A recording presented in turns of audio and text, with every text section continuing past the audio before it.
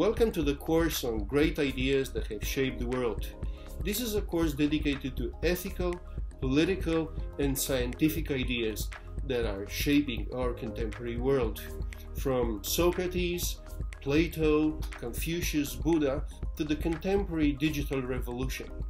Now, this is a course that is global in nature, in the sense that it deals with ideas from different parts of the world from China, from Africa, from Latin America, from the West.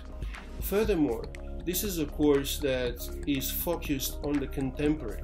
So, to give an example, if you are going to read Darwin or Confucius, you are going to read these authors from the perspective of um, our contemporary world. The question is not what was the relevance and what are the debates on Darwin, for instance, in the 19th century, but the question is how has Darwin impacted our world?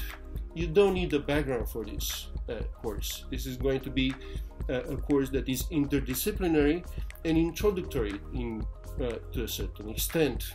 I'm looking forward to develop to developing debates with you, to discussing with you, and to listen to your uh, intuitions.